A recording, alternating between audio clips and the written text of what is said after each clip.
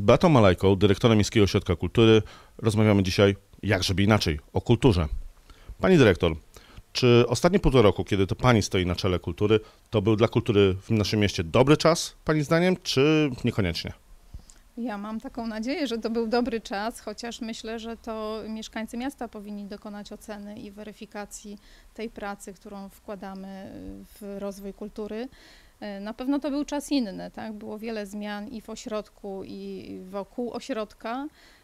Czas, kiedy spore zmiany nastąpiły w samym miejscu wykonywania pracy przez pracowników i musieli się dostosować do wielu nowych sytuacji.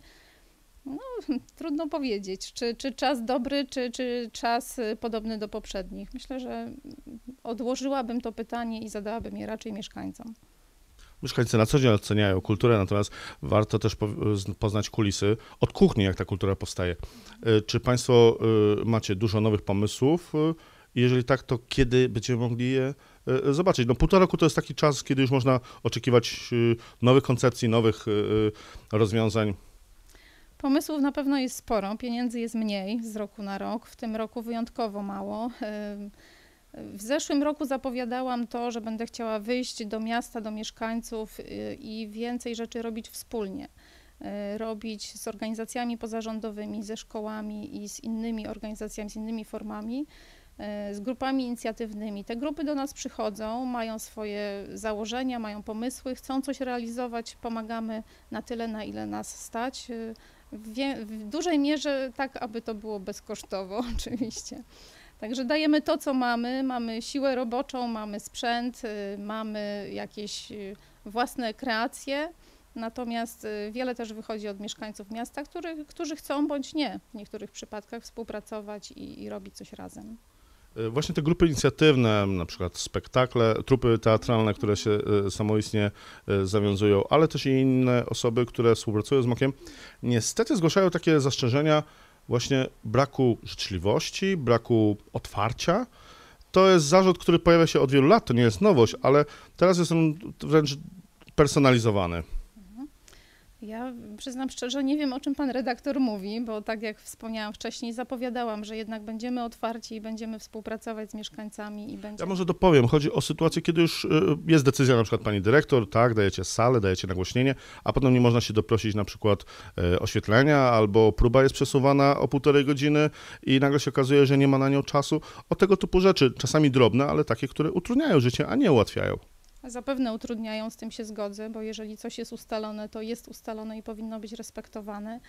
Ja przyznam szczerze, zdarza mi się gasić pożary i zdarza mi się naprowadzać pracowników na właściwe tory, chociaż myślę, że w wielu przypadkach są samodzielni i, i dają radę sami. Także jeżeli takie sytuacje miały miejsce, to mogę powiedzieć, że jest mi przykro i że dopilnuję na przyszłość, aby się nie pojawiały, bo jeśli coś jest ustalone, no to jest ustalone.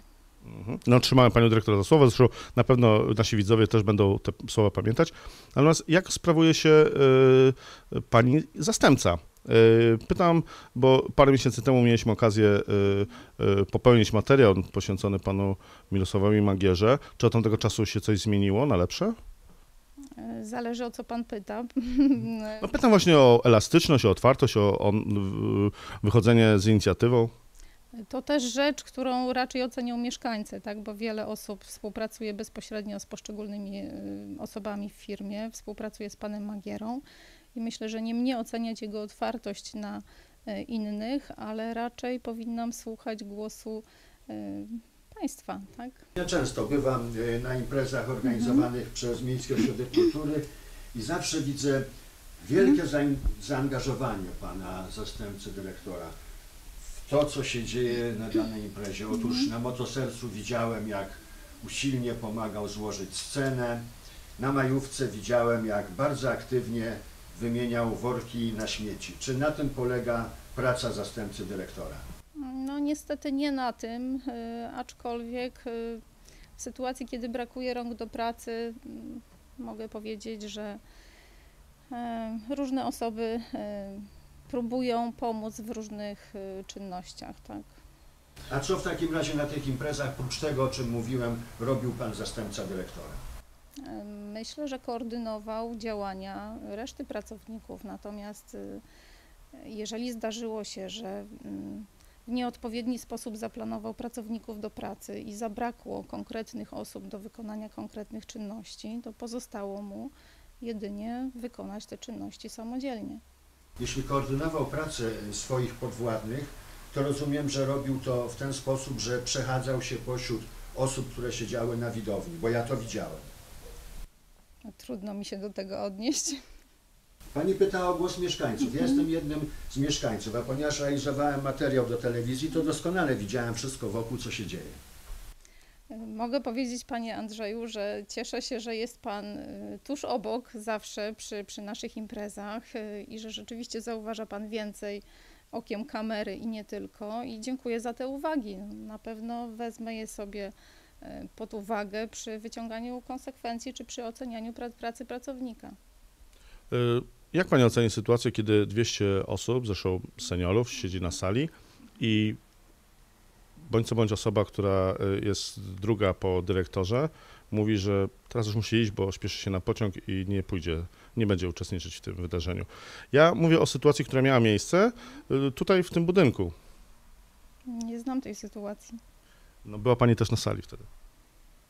Niestety nie kojarzę, proszę mi przypomnieć. No to była jedna z imprez, y, które się odbywały w sali kinowej. Zostawmy to, idźmy dalej. Jak wygląda w tej chwili y, sytuacja kina Chemik i kina Twierdza? Te kina funkcjonują razem. Od wielu lat mówiło się o tym, że jeżeli będą dwie sale, to będą dużo większe możliwości repertuarowe, y, a więc i będzie więcej widzów, więcej pieniędzy. Jak to wygląda w tej chwili? E, Sytuacja z kina dwusalowego jest zupełnie odrębna od dwóch kin jednosalowych. Ja myślę, że w momencie, kiedy radni podejmowali decyzję o dobudowaniu sali kinowej do Domu Kultury Koźle, nie wzięli pod uwagę tego, że posiadanie sali w innym miejscu nie oznacza, że to jest rozbudowa tego samego kina. E, Dla dystrybutorów kino Twierdza jest odrębną jednostką i absolutnie nie pomaga nam w tym, y, w warunkach, jakie możemy uzyskać na realizację działalności filmowej w kinie Chemik. To są dwa odrębne kina, które, z których każde jakby funkcjonuje osobno. E, Każde z tych kin e, negocjuje warunki dla siebie odrębnie. To po co ten sam film jest na przykład emitowany jednocześnie w obu kinach? Nie lepiej w tym czasie, tworząc szerszą e, ofertę, puszczać inne filmy? A zdarza się tak wcale nierzadko, że i w jednym kinie, i w drugim mamy ten sam film. W tym samym czasie. Zgadza się. Mamy od lat animozję w naszym mieście pomiędzy mieszkańcami Kędzierzyna i Koźla. Ja myślę, że pan Magiera ustalając tak, a nie inaczej repertuar kin, to bierze przede wszystkim pod uwagę, żeby każdy miał swoje kino w zasięgu ręki z tymi filmami, które są e, na topie.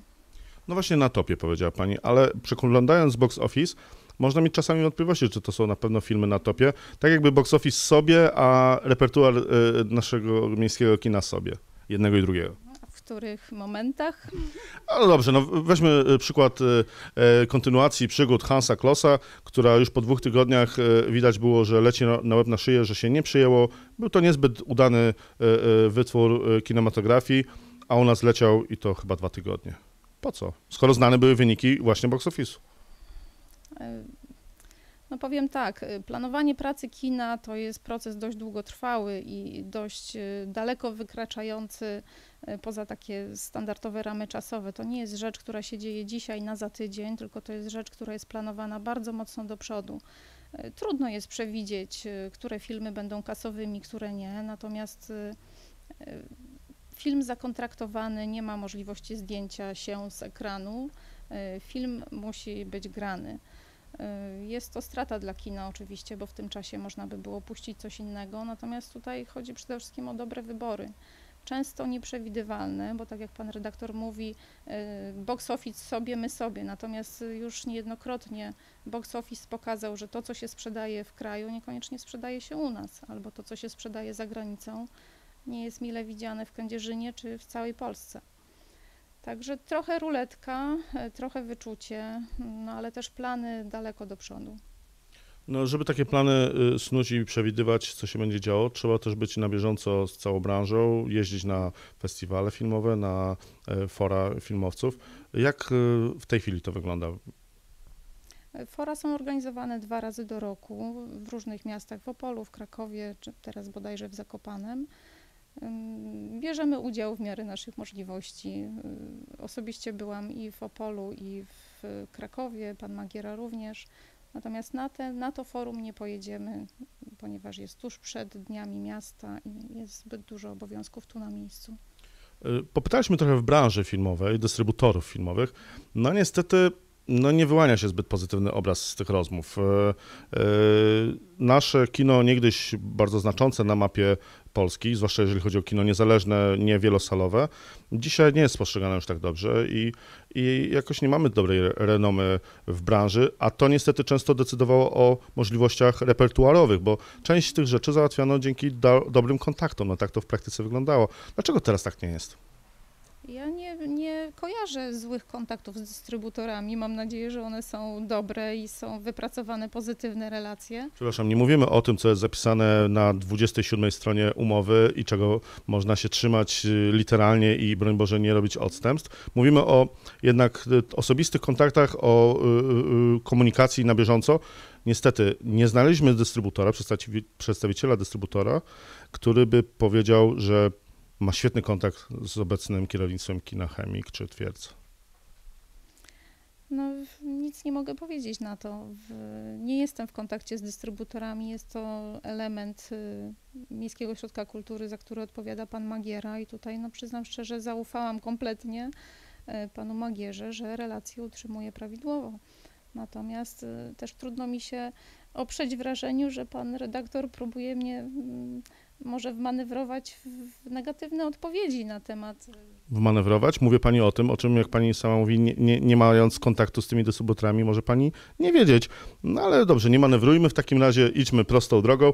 Jak e, ocenia pani pracę swojego zastępcy? nie zawsze dobrze. Co to znaczy? Że są rzeczy, z których y, nie wywiązuje się w należyty sposób, są rzeczy, nad którymi czuwa prawidłowo. No jest to, jest to rzecz do dyskusji. Tak? Czy ja dobrze zrozumiałem, pan Magiera koordynuje pracą podwładnych. Tour de Pologne. Wieczór przed imprezą. Dzieje się tutaj bardzo dużo, bo ta impreza w sumie jest przygotowywana, jutro rano ma się rozpocząć, a pan Magiera koordynuje swoje, swoimi podwładnymi z Gliwic, bo tamże musiał podobno wyjechać i tutaj na miejscu być nie mógł. Więc nie wiem, jak ta koordynacja wyglądała telefonicznie, może. E, Pan Magiera rzeczywiście jest mieszkańcem Gliwic i przyjeżdża y, do Kędzierzyna, tutaj świadczy pracę, natomiast koordynacja poszczególnych y, działań to nie tylko praca przed dzień, ale też praca no, kilka dni czy tygodni przed danym wydarzeniem, uczestnictwo w spotkaniach, w uzgadnianiu tego, kto za co będzie odpowiadał. Być może trudno mi się odnieść, byłam wtedy na urlopie, ale wierzę, że pan Magiera podzielił obowiązki w taki sposób, że mógł pojechać na noc do domu przed, tuż przed imprezą. Nie na noc, tylko wieczorem już nie było pana Magiery, bo ja tutaj byłem, robiłem materiał i doskonale o tym wiem, bo sam widziałem. I zdziwiony jestem bardzo, bo nawet gdyby wcześniej ta impreza pod kuratelą pana Magiery została przygotowana tutaj w Domu Kultury, to i tak dzień przed imprezą ktoś taki jak zastępca dyrektora Miejskiego Ośrodka Kultury powinien być tu na miejscu, a nie w Gliwicach. No cóż, tak. Pani dyrektor, no to jest pytanie proste. Po co jest zastępca dyrektora, skoro tak, jeżeli pan dyrektora nie ma, a zastępca, który jest na miejscu, też go nie ma, bo tak naprawdę nie jest na miejscu, to po co pani zastępca? E, Bo przypomnijmy, że ten etat został ustanowiony wraz z pani przyjściem, to znaczy on został tuż przed pani przyjściem na stanowisko dyrektora MOKU, został ustan- y, przywrócone jakby stanowisko zastępcy dyrektora. Wcześniej przez wiele lat tego zastępcy dyrektor MOKU nie miał i jakoś takiej sytuacji nie było, żeby brakowało osoby odpowiedzialnej za, za imprezę. Hmm.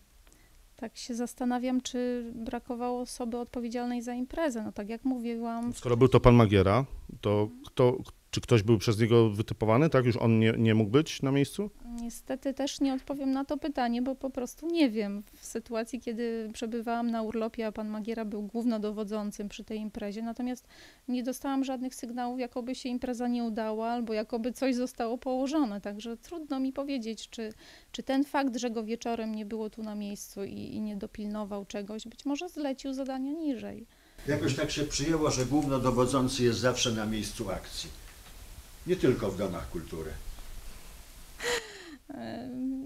Pewnie tak jest w wielu miejscach, natomiast e, nie ukrywam, że mamy również w Miejskim Ośrodku Kultury szereg pracowników bardzo odpowiedzialnych za swoją rolę, za swoją pracę, za to, co robią. Natomiast e, no, ta, powrócę do tego, co powiedziałam przed momentem. Nie znam sytuacji, nie wpłynęły do mnie żadne informacje negatywne na ten temat.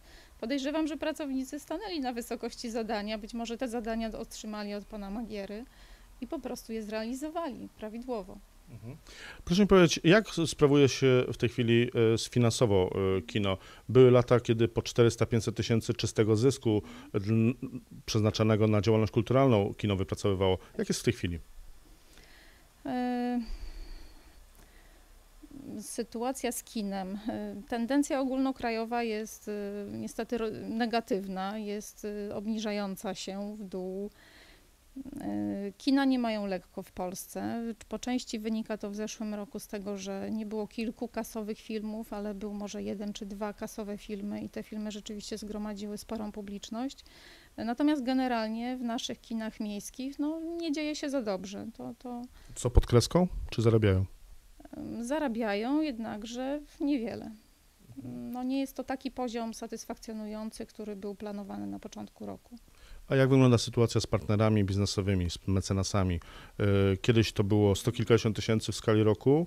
Jak wygląda sytuacja teraz? Spodziewam się może 100 tysięcy, może 80 tysięcy przychodu z tego tytułu w tym roku. To rzeczywiście o wiele mniej niż w poprzednich latach, natomiast też popatrzmy na ogólnokrajowy kryzys. Wielu mecenasów, którzy, osób czy, czy firm, które do tej pory były mecenasami kultury i promowały, finansowały kulturę, wiele takich osób podkreśla, że jednak ten rok czy poprzedni to były lata chude. Rozumiem, mamy czasy trudne, żeby nie powiedzieć kryzysowe. Czy ZMOK się zmieni na, e, w czasach kryzysu, czy zostajemy w tej samej strukturze, to wszystko zostaje bez zmian? Będziemy się zmieniać. Tak zapowiem enigmatycznie zmiany. Bę- Będą zmiany. No to czekamy na te zmiany i dziękujemy bardzo za rozmowę. Dziękuję bardzo. Dziękuję.